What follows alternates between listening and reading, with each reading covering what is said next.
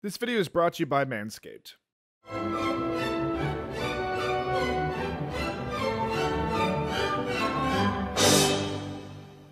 Okay, is it just me or do these low res icons in the bottom right really just bring you back? Like, I know we still have loading icons today, but there's something about the late 2000s ones that just screams nostalgia. Not just me, right? In my head, I just hear previously on Survivor. I feel that this quote was the design philosophy behind Uncharted. This game was new ground for Naughty Dog, and even for the time, the gameplay and story weren't anything groundbreaking. Without Drake's fortune, we don't have all the other amazing sequels. Let's ignore Lost Legacy like Naughty Dog does, and maybe no Last of Us games. And you gotta give it to Naughty Dog, creating a character and a quote, pontificatingly, not a word, but I'm rolling with it, framing their new venture. Man Raider, Tomb Charted, Indiana Drake, whatever you want to call it. Naughty Dog wasn't shy about its inspirations and took them in stride. I mean, hell, Tomb Raider Underworld's first mission is even at sea, which came out a year later, so who's really copying who here? There's a line between paying respect and moving forward and just blatant copy. The haters are gonna have a field day with that line. I think Uncharted walks the former well, as it takes the genre defining features of Tomb Raider and mixes it with a Hollywood blockbuster, all in a way that doesn't feel forced. And like, wow, I remember being blown away back in 2007 when I saw this game. To have a game look this good right as the PS3 launch is nothing short of amazing. I'm sure many of you know how difficult the cell processor was to develop for with that system, and that reminds me that if you want to be great at something, you can't spread yourself too thin. Jack of all trades, anyone? Since Naughty Dog just had to worry about PlayStation, they were able to hone in on its hardware and create the best looking games ever, even to this day. Francis Drake didn't have any children. Well, history can't be wrong, you know. Drake is my kind of man, especially with all the BS going on right now about trying to censor our history curriculum in the US. I don't like talking about current events, as I want these videos to be timeless, but I bet whenever you watch this video, something to that effect will still be happening. I'm gonna come back to this video in five years and leave a comment if I was right. Look, Mr. Drake, you signed a contract. Oh, how everyone feels so safe behind some paper and ink. It's just like money. We humans have done a great job in agreeing on certain things. That's a joke. But it's crazy when you really break it down from where we started and how we got here. Really fun stuff to think about. Like how money has constantly been evolving to be lighter, and now where it's just numbers on a screen, a piece of plastic, or a CPU. And now, since money is more digital, we just go more into the tech and build the blockchain to add some kind of value into it. I'm not going to pretend I know anything about anything, but the world's crazy, y'all. What does this have to do with Uncharted? Well, you see, this was all a part of my elaborate analysis of the themes surrounding Drake, as the entire game he's after some treasure only to realize human life is more valuable, but then ends up with a trove of treasure anyway and keeps hunting, proving the thesis that humans are cyclical creatures that suck at change. And who said Uncharted 1 had no story and nothing to say? How was that for conjecture, y'all? I really hope I lost some of you on that one because I'd be lying if I said I wasn't taking the piss for at least half of that. And then after writing it, I was like, okay, maybe I'm onto something. But to give myself that much credit sounds silly. So next. Sully? Uh, we got some trouble. Hurry it up. Well, Sully's caught up right now. Goodbye, Boo. They don't take prisoners. At least not male prisoners. Wait, what are you talking about? What he's talking about is that men suck and Must die. Well, what's worse? You obviously haven't been in a Panamanian jail. Do you know how to use one of these? one, this refers that Drake has been. And two, Nate's nonchalantness will be his best trait throughout the entire game. The constant banter from him is a great way to remind us not to take this story too seriously and enjoy what we are being presented with without thinking about it too hard. Which I'm going to try my best to do. Think about it too hard. Like, maybe Drake is an actual psycho sociopath, and that all our crying about ludonarrative dissonance is a waste of time as he's crazy since the start. Sociopaths do have a way of manipulating people and feigning emotions to get what they want. Maybe all along, this game was Naughty Dog's attempt to see if they could trick us into thinking Drake is a good guy with their dazzling cutscenes after he murders everyone. I think they succeeded. I'd f him. Now, if you want to look as good as Nathan Drake, you're going to need to get yourself some real man products with Manscaped. Over 4 million men, including myself, have been using Manscaped to nourish our bodies, especially during these cold winter months, which can be particularly harsh on our skin and lips. If you're lazy, like me, and like making everything easy and simple, you can cover all your needs from head to toe with the Manscaped Ultra Premium Collection. Just one box nets you everything you see here on screen and covers your three B's your butt, your balls, and your body. I've got a really bad habit of biting my lips and constantly ripping off any dead skin to the point that I start bleeding and getting busted lips. And I'm 100% when I say the hydration that comes from their lip balm is second to none. I use it every day and keep one in my car, my house, and even my jacket pocket. And you can too, as the collection comes with three of them. You can opt in to the Manscaped hygiene plan to make sure that you're always stocked up on the most premium hygiene products, like the lip balm. So head over to manscaped.com and make sure you use promo code GamingWins for 20% off, plus international shipping to get your box. Your balls and your body will thank you. You Just point and shoot, right? Good girl. Here we go. Dude says it like they're about to go down a slide together. Grade A, crazy. Okay, I'll come back to Earth for a bit. This game is 100% a product of its time, and to trash it in today's standards would just be unfair. When it released, it wasn't without its fair share of criticism, but the cover shooter mechanics were solid and platforming was fun. But in today's standards, they're kind of butt, and very repetitive, and controls horribly. Back then, though, it was really good, and like I said earlier, these games were just baby steps for what's to come. Oh, wait. What are you doing? Okay. And for those of you that want to say this game has no themes and nothing to say, come on. Elena has a great, albeit simple arc about letting go of her attachment to documenting everything. Sure, it's her job and she needs to make money, but consistently does she let that overvalue her actual life? How many people do you know in your life that are miserable working their jobs but don't do anything to change it? It's the same thing, just on a grander scale. I love this arc because it's exactly what I went through with my old jobs and still need to keep in check with YouTube. Work and play is a hard bitch to balance, and I hope you always strive to do so. I appreciate that Sully's character is just a little minx all the time. Even on his plane, he's got his little pinup girl with Hog Wild. Most of the characters in this game are archetypes, but they all play their part well. You alright? Nothing that years of therapy won't fix. That's the spirit. And I'd like to acknowledge to say that this was Naughty Dog's small acknowledgement of the crazy shit that happens in this game. And this will come up later when Sully dies. As long as they're self aware of their popcorn game and I willingly bought it, what harm done? Yeah, I'm more of a behind the scenes kind of guy. Hinting that he's gonna be gone for half the game, keeping the baddies at bay. Ah, for Christ's sakes. You can always count on a simp to forget the most important line we teach our children. Bros before hoes. Just pretend for a minute that I don't really care about any of that stuff and cut to the chase, would you? Man only interested in the climax. And like I said, they play the archetypes perfectly. I mean, what do you expect from Nolan North and Richard McGonagle? Nate's still green with excitement about the narrative and adventure of it all, and Sully, who's been around the block a few times, just wants to see his payday. Sully, the girl can hold her own. You should have seen her. Fine. You go on out there and you tell her, we just found the lost city of gold. Only a real simp would get angry at another simp for simping over his simpy. Do you trust me? More or less. Uh, it kind of sounds like moralless, you know, since Sully kind of is being so. She did help fight off the pirates and help fund their trip, and he wants to kick her to the curb. Should have seen that one coming. I can appreciate someone who respects the game. Something that Naughty Dog has always been great at is their cutscenes, but not for the reasons you might think. Other companies do this, of course, but these guys are king. Instead of using pre-rendered cutscenes built with CGI, a different studio, or what have you, they use their game engine with higher quality meshes to not have such a distinct difference between gameplay quality and cutscenes. My prime example is Arkham Origins. They look great, but they're jarring as hell to switch between that and gameplay. Man, even way back then, Naughty Dog was doing the chain, find a cart for the door, loading screen. Some things just never change. The climbing can be finicky sometimes, and we aren't given much more than straight paths to follow. But it's smooth and responsive when it does work, even by today's standards, which is saying a lot, because not much else of this game does hold up like that. So this is meant to be a treasure hunter game, sure, and there has to be puzzles, but if they go too hard, it ruins the pace, and we can't get back to our action adventures, so I really don't mind the puzzles in this game being do something with symbols or shoot the thing. I'm really wet. Probably what Elena said after watching you murder all those pirates. Y'all remember fixed cameras? A trend that I'm so glad we've ditched. Why is this a win? Because Naughty Dog has come so far. Unless what? We follow the tracks. What do you mean? The tracks are 400 years cold, but whatever. Gotta say, I sometimes miss that giddy optimism. It looks like the back wall of the temple was blown out. Just like my asshole. Ah, it looks like he was killed. Ripped to shreds, actually. Nazi zombie shadowing.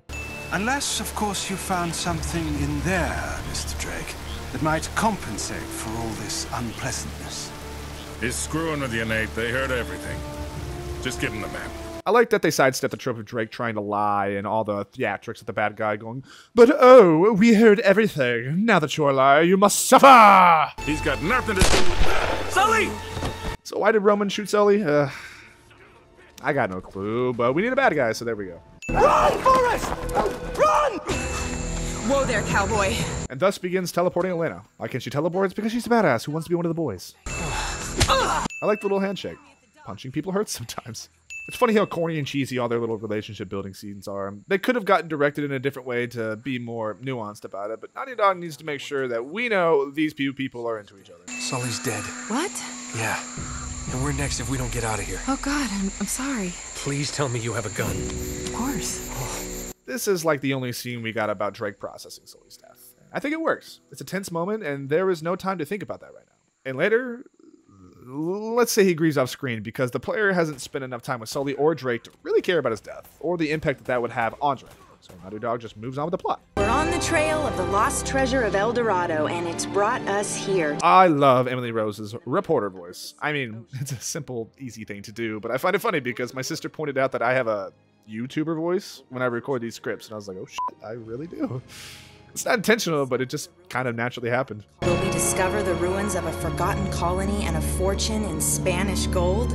Or does the island have darker secrets in store for us? That should keep him from changing the channel. Whoa! What the hell was that? And that'll keep us from changing to a different game. What the hell was that? This has nothing to do with Uncharted, but fuck it. I'm gonna use my platform to reminisce. Y'all remember that one time when the Cartoon Network allowed a lot of curse word in the Clone Wars? What the hell was that?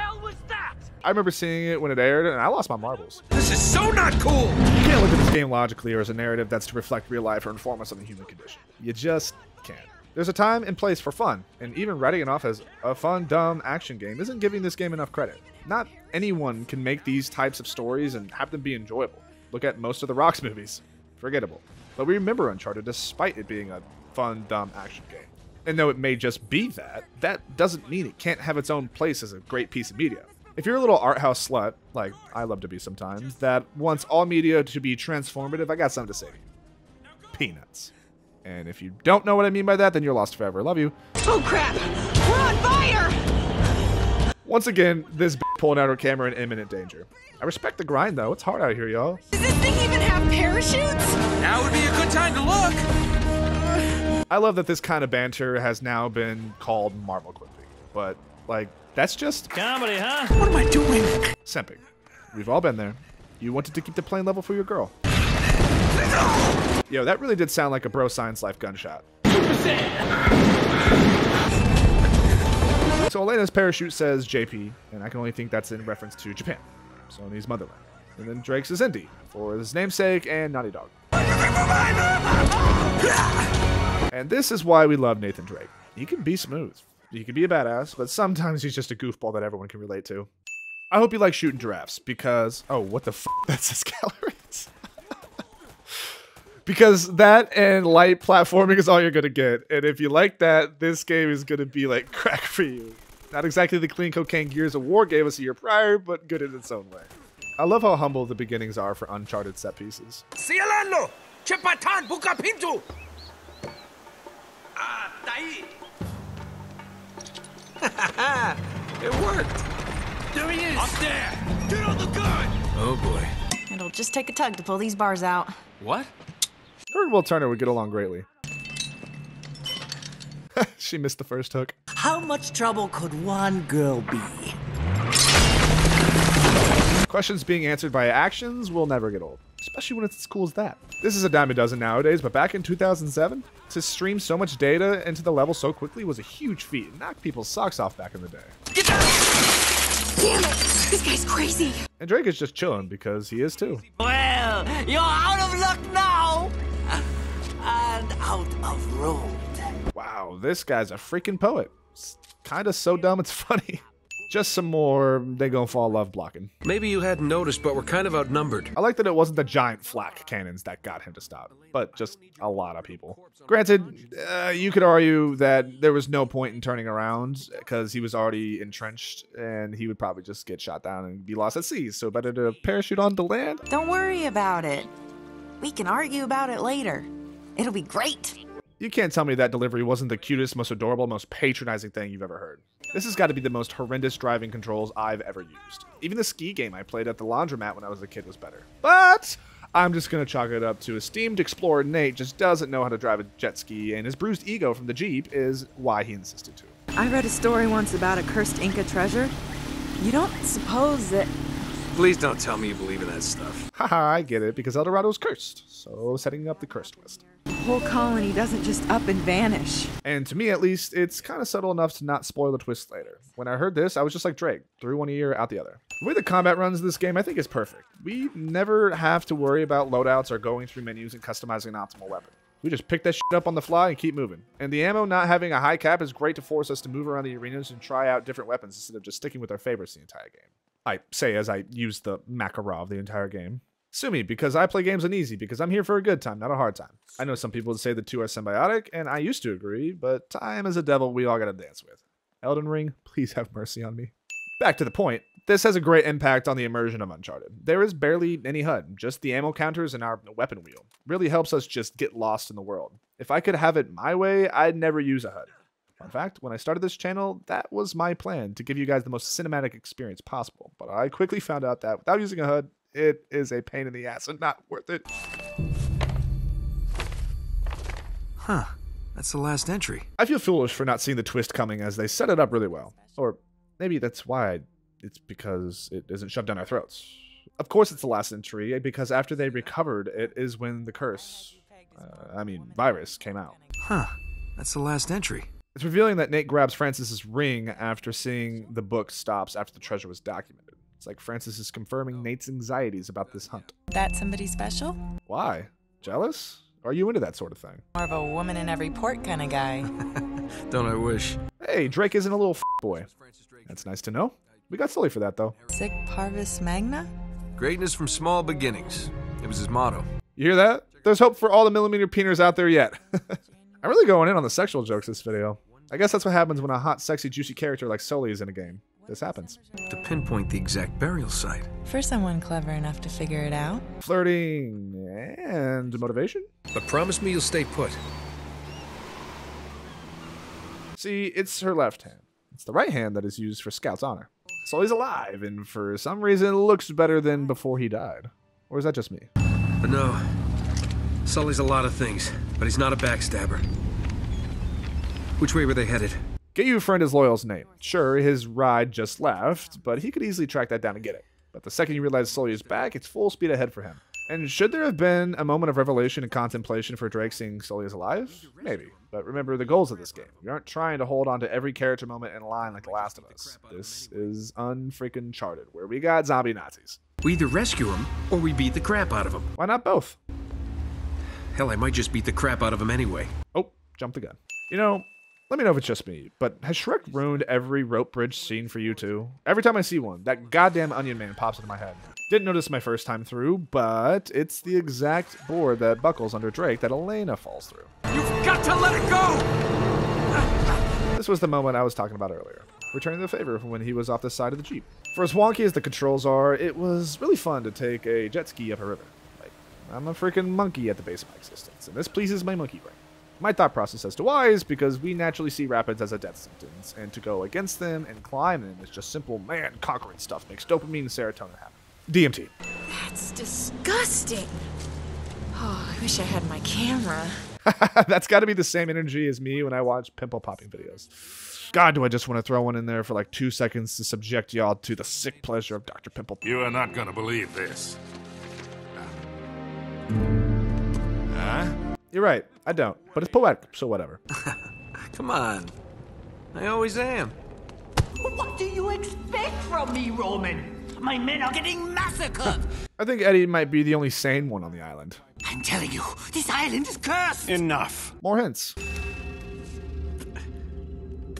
Comedy, huh? Don't be stupid. He knows we'll kill him once we find the treasure. He has no incentive to tell the truth.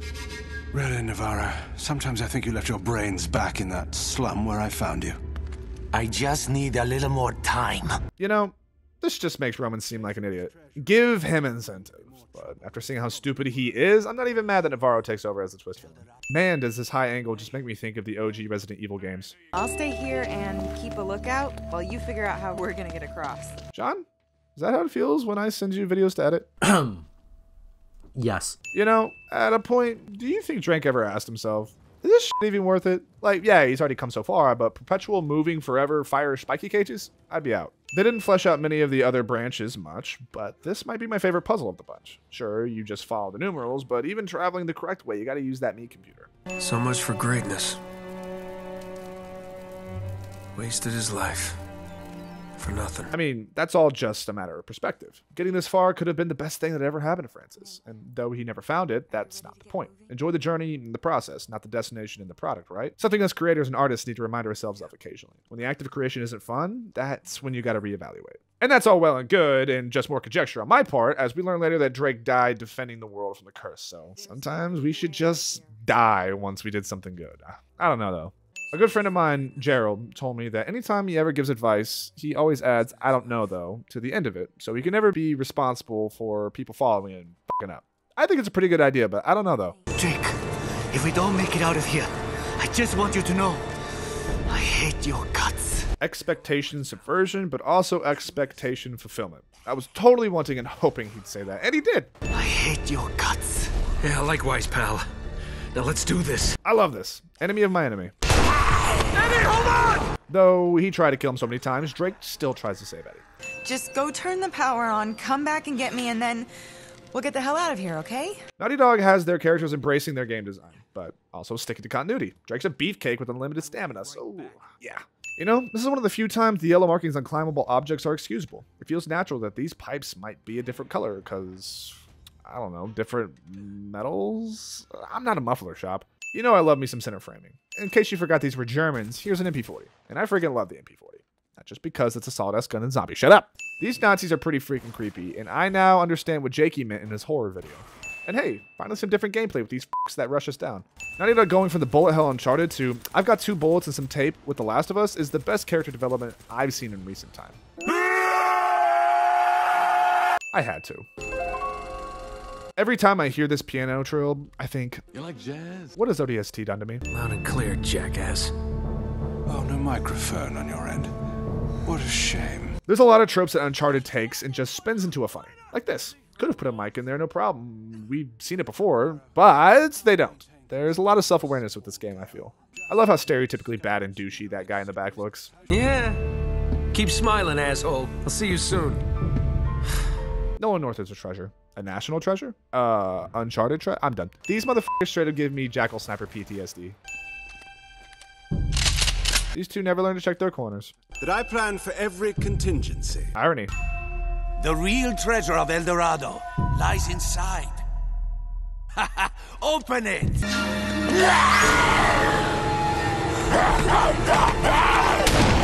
What a joker.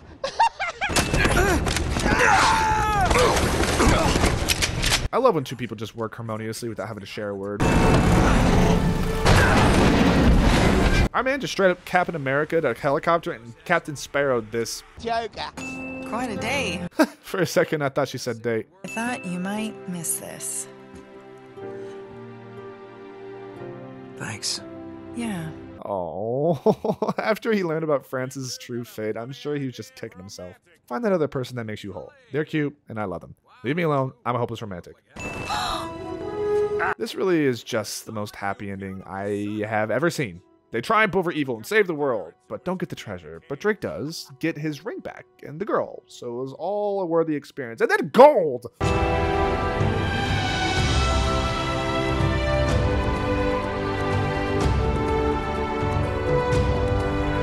Can I just gush about how beautiful and heroic this theme is? It really just makes me feel so happy and that everything's gonna be okay. So I really like this game. It was just plain dumb fun that I didn't need to think too hard about. Sure, I did anyway, but not while I was in the seat playing it. I had a lot of fun writing this script, and I hope y'all don't mind all my random tangents and silly jokes. I know a lot of you enjoy the analysis, but there wasn't much substance here, so I just did what Naughty Dog did with this game and had some dang fun. And I'm being honest when I'm saying this might be the most fun I've had writing a script since the Guardians of the Galaxy video. And don't worry, the analysis is never going to go anywhere. I love that part too, but I'm really enjoying just kind of around with you guys for a bit. Let me know if you had as much fun watching as I did writing it. Remember, drive the speed limit, drink some water, and love one another. Pizza!